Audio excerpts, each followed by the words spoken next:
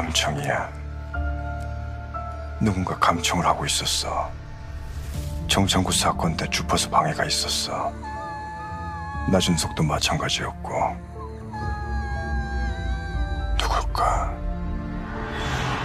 또 누군가 있다.